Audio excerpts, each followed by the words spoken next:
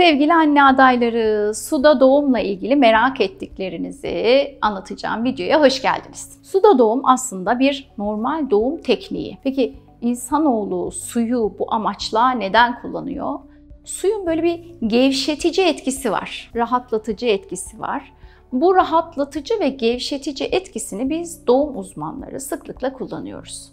Ama suya girsin, ama duşa girsin, ama su içine bebeğini doğursun her halükarda elimiz yettiğince suya ulaşıp gebelerimize bu hizmeti sunmaya çalışıyoruz. Suda doğumun avantajlarından ilki kişinin o rahim kasılmaları sırasında bebeğin inişi sırasında yaşadığı kramplar ve ağrılar var ya onları daha az hissetmesine yardımcı oluyor. Gerçekten güzel bir özellik. Diğer bir özelliği ise suyun böyle o sıcaklığı, ılıklığı perine kaslarını gevşetip bebeğin doğum kanalından daha e, rahat çıkmasına yardımcı oluyor. Bu perine kasları gevşediği için doğum daha hızlı da ilerliyor. Yani bebek o kanaldan daha hızlı da çıkıyor. Böyle artıları varken neden kullanmayalım? Tabii ki kullanalım ama bunun için sizin de bazı şartları taşıyor olmanız gerekiyor. Birincisi bu konuda eğitim almanız gerekiyor. Özellikle doğuma hazırlık kursuna giderek suda doğumla ilgili eğitimler almanız gerekiyor.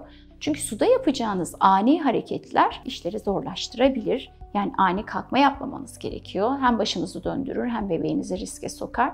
Bebek suya doğduğu zaman ilk nefesini ten teması yani teni havayla temas etmedikçe almaz. Bizim solunum sistemi ilk fetal dolaşımı bitip e, normal dolaşıma başlaması için hava teması gerekiyor. Özellikle yanak reseptörleriyle.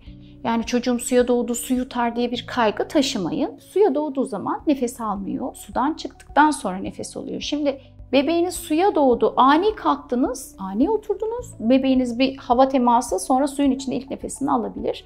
Onun için lütfen sakin kalmaya çalışın. Bunun için de öncesinde mutlaka eğitim alın. Bir diğer konu tansiyonunuzun yüksek olmaması gerekiyor. Vajinal veya idrar yoluyla ilgili bir enfeksiyonunuzun olmaması gerekiyor. Plasentanın önünde olmaması gerekiyor. Bu tür şeyleri de mutlaka hekiminiz size söyleyecektir. Sen suya doğum için uygunsun veya değilsin diye. Bunlar e, sizinle ilgili temelde söyleyeceğim şeyler olabilir. Bir de suda doğum yapmak için iyi bir ekip ve deneyimli, donanımlı teknik cihazların eksiksiz olduğu hastaneleri tercih etmelisiniz. E, bu ne demek oluyor? Herhangi bir problem durumunda size ve bebeğinize hemen ani müdahalelerin yapılabilmesi gerekiyor. Bu aslında bütün normal doğum türlerinde bu böyledir. Sadece suya doğum için özel değil. Bir de NST'nizin reaktif olması gerekiyor. NST dediğimiz şey hani karnınıza bağlanıyor ya hamileyken belirli periyotlarla hekiminiz bebeğinizin kalp atışlarını dinliyor.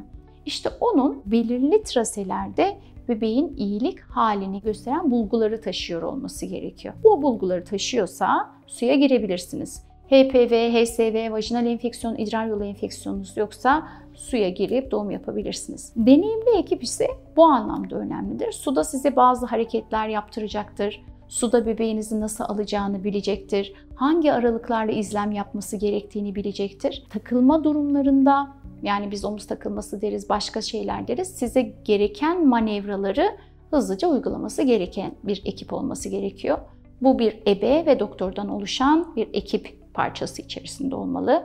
Hastaneyi de ekibinizde seçerken buna uygun davranın. Şimdi soğuk suya mı giriyoruz? Hayır. Sıcak, çok sıcak suya mı giriyoruz? Hayır. Suyun sıcaklığı 37 derece olmalı. Çünkü aşırı sıcaklık baş dönmelerine, tansiyon düşüklüğüne, bebeğe giden kan akımında bozulmaya ve riskli durumları yaratabilir. Bir de zaten aşırı sıcak, bir de ekstradan ne olur? Sıvı kaybedersiniz. Sıvı kaybettiğiniz zaman da e, yine işte bu bebeğe giden kan akımı süreçlerinde bozulmalar yaşanır. Onun için ideal sıcaklık 37 derece. Bu koşullar sağlandığı durumda ekibiniz, hastaneniz donanımlı, siz de bu konuda eğitimli olduğunuz zaman suda doğum, huzurla bebeğinizi şölenle karşılayacağınız, güzel anılarla hatırlayacağınız bir doğum eylemine dönüşür. Çünkü onun verdiği e, çalışmalarda da bir iki kurcaladım literatürde. Suya doğan bebeklerin daha huzurlu olduğu, anne bebek bağlanması noktasında problem yaşanmadığı, emzirme sürecinin e, ve hızlı kesintisiz başlandığı gibi e, pozitif yararları da bulunmuş. Onun için de böyle bir niyetiniz varsa, dileğiniz varsa bu konuda mutlaka gerekli araştırmaları yapıp keyifli bir şekilde doğumunuza hazırlanın. Görüşmek dileğiyle efendim. Mutlu, huzurlu, sağlıklı, güzel bir gebelik süreci ve doğum eylemi diliyorum. Hoşçakalın.